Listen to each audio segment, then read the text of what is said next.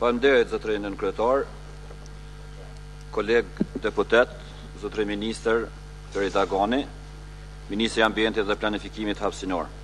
Unë e kam lexuar edhe seancën e kaluar pyetjen, por po e shfrytëzoj prezencën e juaj që sot të marr unë përgjigje dhe qytetarët e Deçanit, të cilët janë duke u përballë me shumë probleme të shkatërrimit të ambientit në Grykën e Deçanit, si rrjedhojë e fillimit të ndërtimit të tri hidrocentraleve nga një kompani fituese, e cila me të madhe ka degraduar shtratin e lumit Lumbardh apo siç quhet në popull Bistrica e Deçanit, duke larguar masën drunore përgjatë këtij lumi dhe duke krijuar zona erozive si dhe eksploatuar me mijëra metra kub rërë dhe zhavorr, e cila ka bërë që shtrati i këtij lumi të humbë natyralitetin e vet që posedon. Zotëri ministër, sa jeni ju në dijeni apo ministria juaj për këtë që po ndodh?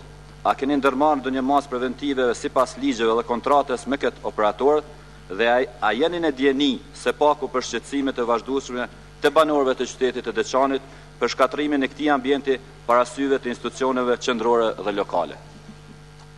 Zoti Agani e keni fjalën.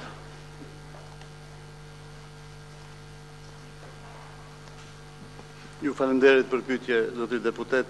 Po, jam në dijeni dhe gjatë kësaj periudhe të ushtrimit mandatit kam pas disa herë kontakte me faktorët vendimmarrës lidhur me këtë çështje edhe gjatë vizitës që kam realizuar te kryetari i komunës së Deçanit po ashtu edhe në kontakte me përfaqësues të komunitetit dhe shoqërisë civile, në Deçan, natyrisht brenda prej zyrtarëve të Ministrisë së Mjedisit, por edhe në një komunikim drejtpërdrejt me menaxhmentin e kësaj kompanie për t'i adresuar qartë këto shqetësime. Operatori Kelkos Energy për realizimin e projektit për ndërtimin e mini-hidrocentraleve në rrjedhën e Lumbardhit të Deçanit nga Ministria është i pajisur me dokumentet përkatëse mjedisore pëlqimin mjedisor, lejen ujore si dhe lejen ndërtimore.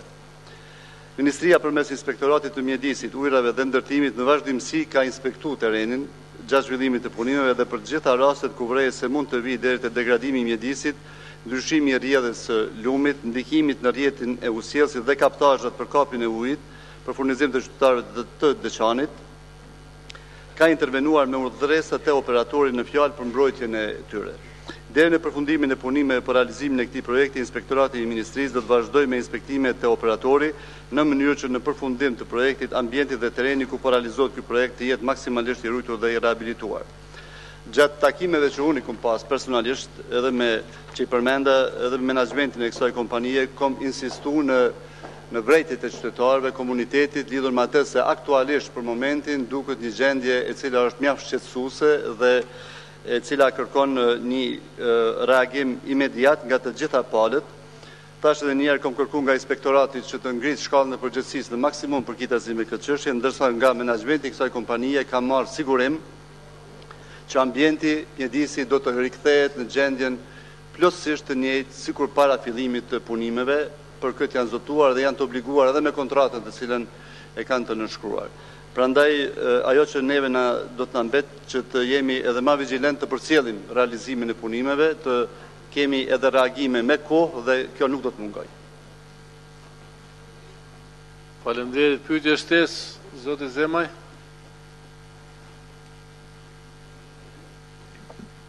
Faleminderit, ministër.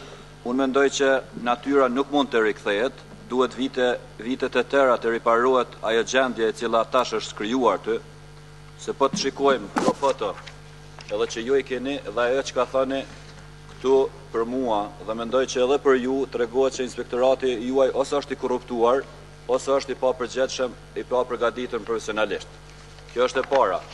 E dyta, unë vetëm po e citoj ligjin çka thotë për zonat e mbrojtura, aktiviteti i ri në fushat e mëposhtme do të ndalohen, ndërtimet apo zhvillimet industriale të tilla si eksplorimi dhe dëmtimi i burimeve minerale, ndërtimi i digave, centraleve apo linjave të tensioneve furrave dhe fabrikave apo zhvillimet që çojnë në shpyllëzimin apo ndotjen e ambientit. Zotëri ministër, akoma bora në bjeshkët e Deçanit nuk është shkri, ndërsa qytetarët e Deçanit përballohen me mospasje ujit të pijes. Dhe kjo është shqetësim.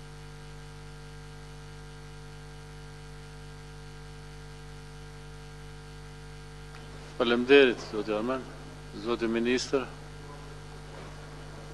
I nderuar zoti deputet, unë i përmenda këto dokumente ligjore të domosdoshme për fillimin e punës së kësaj kompanie, atë që unë mund ta bëj si ministër edhe njëherë të ndërmarr të rishikojmë të gjitha këto dokumente, këto leje, pëlqime të lëshuara sa kanë qenë në pajtim me legjislacionin në fuqi, nuk kam arsye të dyshoj se nuk kanë qenë, por do t'i verifikojmë edhe njëherë që të Jemi të sigurt. Atë që duhet ta theksoj është se këto ditë është draftuar plani hapësinor për Parkun Kombëtar të Bjeshkëve të Nemuna që do të jetë në diskutim publik në dy muajt e ardhshëm dhe javën që vjen kemi edhe do të marr pjesë edhe personalisht do të filloj të marr pjesë në katër komunat e të cilat janë të involvuara në këtë plan dhe me këtë plan hapësinor përfundimisht do të kemi shumë qartë se ku lejohen investime turistike, hoteliere ose investime tjera të lejuara në bazë të ligjit dhe ku nuk lejohen. Po të jeni sigurt se në këto parqe kombëtare do të lejohen vetëm ato investime të cilat janë pajtim me legjislacionin në fuqi. Ndërsa për këto që kanë qenë nga e kaluara edhe njëherë thash do të ndërmarrim një proces të verifikimit të përputhshmërisë të plotë me ligj të dokumenteve të lëshuara. Ju falënderoj.